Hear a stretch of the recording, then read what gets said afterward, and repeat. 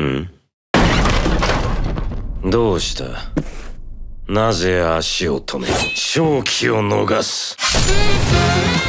函館土方歳三の日本刀を狙いキッドからの予告状がなぜ奴がビッグジュエルでもない刀を狙う？そのお宝お前に渡すわけにはいかんからな！この刀に何があるってんだよ。まさか宝のありかと関係していようとは。お前の目的は何だ？俺は知りたいんだ。そいつが狙っていたお宝が何なのか。